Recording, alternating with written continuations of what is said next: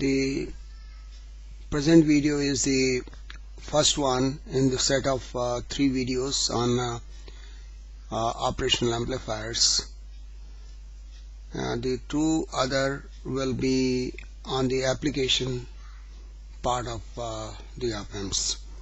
The three areas are one, the first video is on op-amp characteristics, the second one is on the linear applications and the third one is on non-linear applications of the operation amplifiers. Now uh, we observe that uh, the operation amplifiers mostly are uh, differential in nature.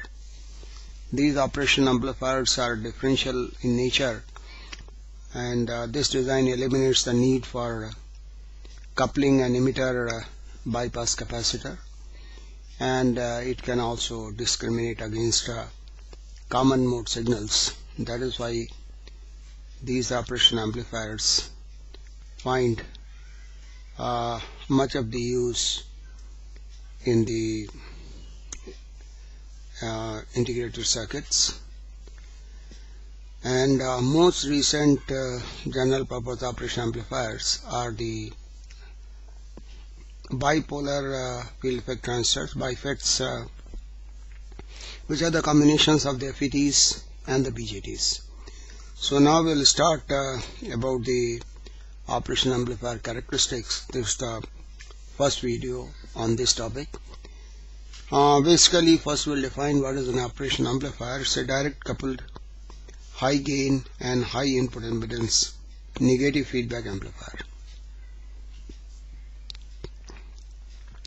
Why it is said to be the operational amplifier is because uh, uh, the earlier operational amplifiers which were used in a lot of computers used to do mathematical operations like addition, subtraction, multiplication and uh, uh, integration, differentiation and so on. So the, this was the name given to them at that time and the same name is being continued to these circuits. Operation amplifiers uh, is uh, they are operating in the uh, differential um, differential uh, mode and uh, this configuration is most suited uh, for the integrated circuits and the most common advantage of these difference or differential configuration is it can discriminate against the common mode signals. Here we can see the block uh, schematic uh, representation for an operation amplifier. The, here the first stage is the input stage. This input stage uh, is differential input and differential output. That means the two inputs and two corresponding outputs here. And this provides uh, most of the gain which is needed uh, for the operation amplifier. This is Next stage the intermediate stage. This intermediate stage provides the remaining gain needed uh, uh, for the uh, op operation amplifier. And uh, the third stage is level shifting stage. And this level shifting stage uh, provides the level shifting. It uses the emitter follower configuration. And the last stage is the output stage and this output stage can provide us uh, uh, enough uh, voltage and current capabilities and uh, it uses the push-pull uh, amplifier configuration. Now we'll see the schematic symbol for the for the operation amplifier. This is the symbol for the operation amplifier. This is the negative terminal, negative input here that's said to be inverting. And plus uh, is indicated as non-inverting input. And these are the corresponding pin numbers 2, 3, 4, 6 and 7 this is the VCC supply. This is the negative supply here. And V0 is the output and this is uh, uh, inverting input. And this non-inverting. Inverting input means that when you apply an input here the output uh, uh, will have 180 degrees phase shifted version of the input signal. And uh, here we are seeing the operational amplifier is working uh, here with the two supplies plus supply and negative supply. But uh, uh, you can use only one supply and this uh, minus VE could be grounded. And that can give an advantage that you can add a, you can get a single uh, uh, ended output here. That means uh, it will go from 0 to the positive direction only. And that this kind of output could be useful for digital circuits. Now here we'll talk about one of the very important uh, property of uh, operation amplifiers. Uh, that's a virtual ground. So we'll illustrate this virtual ground through an uh, inverting amplifier.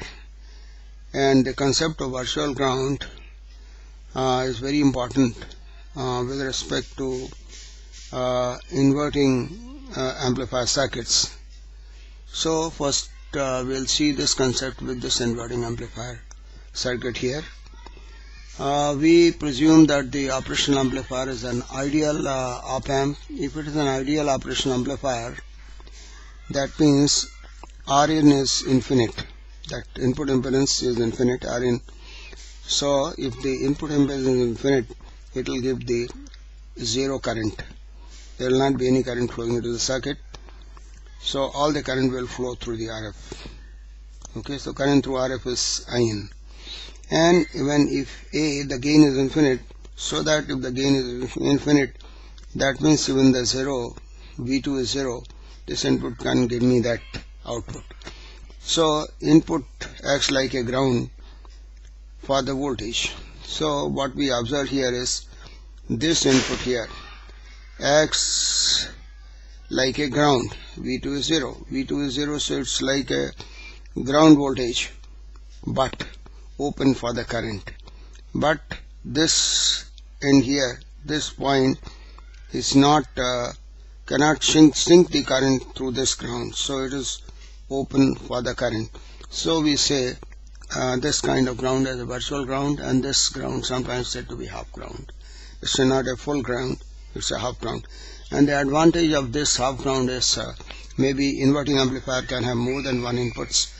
Because uh, these inputs if you apply more than one inputs they will see their own impedance because of the virtual ground concept. They will not inter interfere interfere with each other. And uh, second is uh, here uh, if this terminal has other than ground potential we observe that the uh, the inverting input follows the uh, follows this uh, uh, positive point potential in the negative feedback circuits. Now we'll observe that what are the different operation amplifier parameters.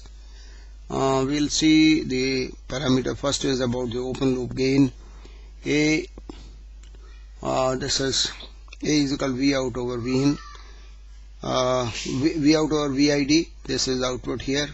This v1 and this is v2 this is vid is v1 minus v2 so v out is equal to vid this is an open loop gain. And normally uh, there is uh, uh, no no negative feedback.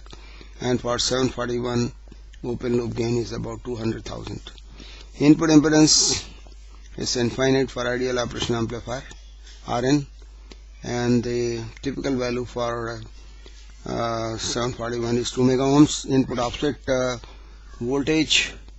Uh, this is also one of the very important uh, parameters.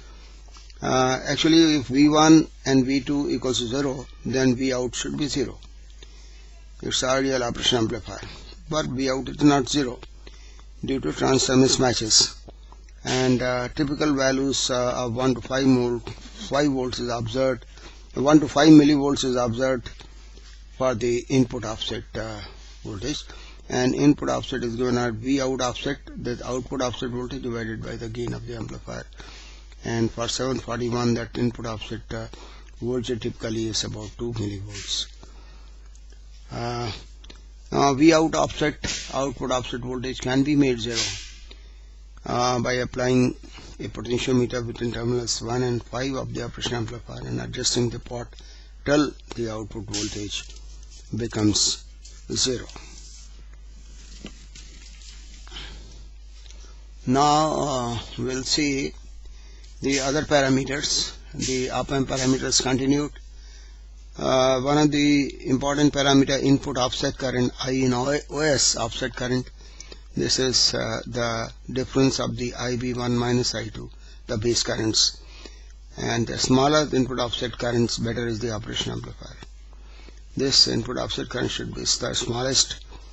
Uh, this uh, actually indicates that how closely the transistors are matched. So for 741 it is about 20 nanoamperes.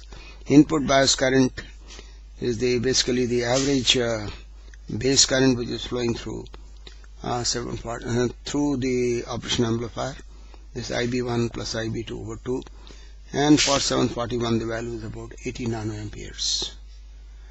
Now common mode rejection ratio is uh, one of the very important uh, parameter in the operation amplifier. CMR it's given that uh, ratio of the differential gain over the common mode gain and this 20 log uh, AD over ACM this in dBs and for 741 the value for CMRR is about 90 dB the value CMRR now slew rate uh, is another important parameters uh, rate of change of voltage with time the maximum rate of change. And if uh, we apply an ideal step input the response here is what we observe here. So for 741 and this value is about 0.5, 0.5 volts per microseconds. But for sine wave input uh, you can really find out the dV by dt value SRs. And if you find the slew rate uh, for sine wave signal you find that the maximum frequency which could be uh, which could be amplified uh, without uh, without distortion could be found from the slew rate so f max over SR over 2 pi Vp is the peak value of the input signal now uh, the last uh, one here is the operation amplifier uh, equivalent circuit. This op amp equivalent circuit here this block is operation amplifier. This indicate input impedance input resistance. This output resistance in series with the voltage source AVID AVID is the voltage source. So uh, we can observe here that V0 is AVID so this uh, voltage source uh, is also said to be uh, voltage controlled voltage source in the operation amplifier. The other uh, parameter is the transfer curve of the operation amplifier. Here we observe that V0 is output is plotted against the VID, the input, this is a voltage transfer curve, uh, and it's RDL out output offset zero. That means here we have presumed that the output uh, offset voltage is zero here in this particular case. Now the last uh, parameter in this uh, is the uh, gain bandwidth uh, product, gain bandwidth GBW. This uh, op amp is a since a direct coupled circuits, so the F1 is zero due direct coupling so we can find the bandwidth by finding the cutoff frequency, uh, upper cutoff frequency.